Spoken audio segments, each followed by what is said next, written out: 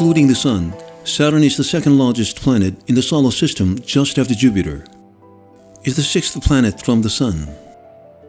Saturn's name comes from Saturnus, the god of agriculture in Roman mythology. Saturn's diameter is 120,000 kilometers, 9.1 times bigger than the diameter of the Earth.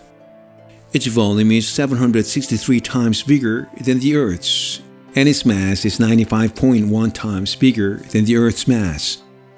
Saturn, Jupiter, Uranus, and Neptune are known as the Jupiter-type planets.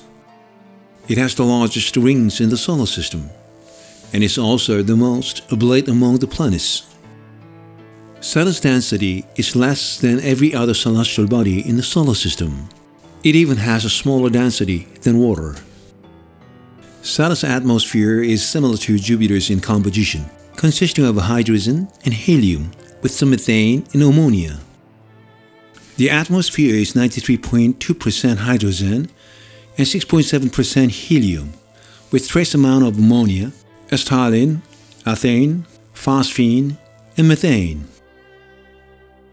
Saturn's atmosphere has bands like Jupiter, but they are fainter and wider at the equator Saturn also has less vortexes than Jupiter. Sometimes large vortexes are generated on the planet, but still they can't be compared with the ones on Jupiter.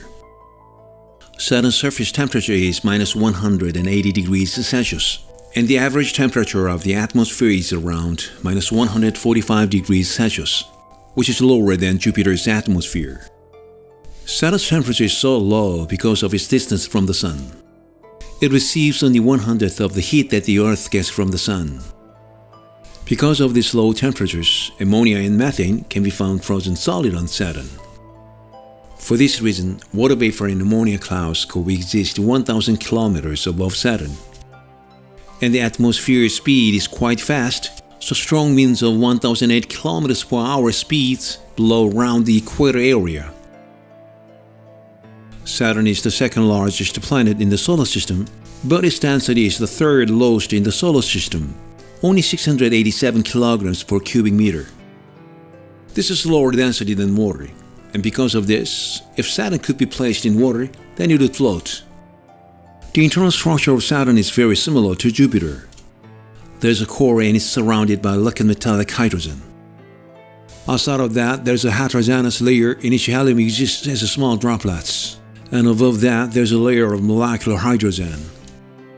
Saturn is an average of 1,426,720,000 kilometers away from the Sun.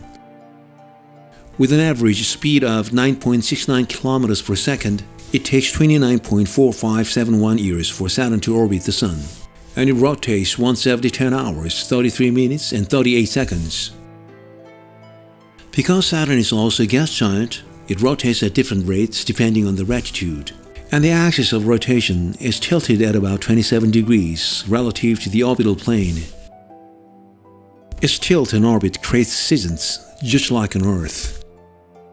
Saturn's orbital eccentricity is 0.054, so it can be as close as 1.35 billion kilometers away from the Sun, or as far as 1.5 billion kilometers away from the Sun. Saturn, just like Jupiter, has a magnetic field due to liquid metallic hydrogen. However, Saturn's magnetic field is weaker than Jupiter's. When the solar wind is strong, the magnetic field reduces to just 1 20th of Saturn's radius, and when the solar wind gets weaker, the magnetic field expands to 30 times the size of Saturn's radius. Saturn has beautiful rings and is a beloved jewel of the solar system. Saturn's rings were first observed by Galileo Galilei in 1610. However, due to the limitations of the poor quality of telescopes at the time, he wasn't sure of what he was seeing. To him, it seemed as if there were two strange ear or handle shaped objects attached to each side of the planet. Roughly 50 years later, the Dutch astronomer Huygens discovered that what was known as Saturn's two sided ears was actually a ring. In 1675, Cassini used a more advanced telescope to observe Saturn closely and discovered that the planet had not just one, but several rings. He also discovered a gap between the rings, which is now known as the Cassini division. Saturn's rings were discovered to be made up of several smaller rings, and these rings are lined beautifully just like a vinyl record. Saturn's rings are located around the equator area and spread out from about 70,000 kilometers to 140,000 kilometers above the surface. Therefore, Saturn's rings are roughly 70,000 kilometers wide. Saturn's rings are believed to be made up of rocks or ice that has been caught within Saturn's gravitational pull, causing them to orbit around the planet. From far away, the rings may look smooth, but they are actually made up of rocks, as small as a grain of rice or as big as a train in blocks of ice.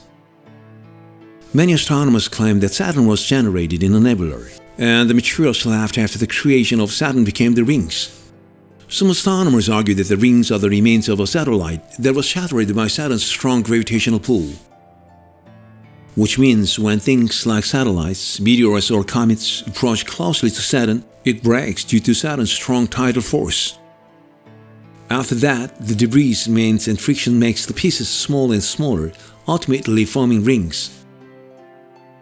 In 1659, Saturn's first satellite was discovered and today the planet has 82 known satellites. Saturn's satellites are mostly made of chunks of ice, and some are also mixed with rocks. Saturn is the planet with the second largest number of satellites in the solar system, and 53 of its satellites have been officially named. Titan, Saturn's largest satellite, has a diameter of 5,150 kilometers, making it the second largest satellite in the solar system, just after Jupiter's Ganymede. Titan is composed of mostly nitrogen, with some methane and argon, as well as trace amounts of molecular hydrogen and carbon monoxide. It's the only satellite with a dark atmosphere. Several of Saturn's satellites, including Iapetus, Tethys, and Dione, were discovered by the Cassini. A joint US-European unmanned probe after Titan was discovered.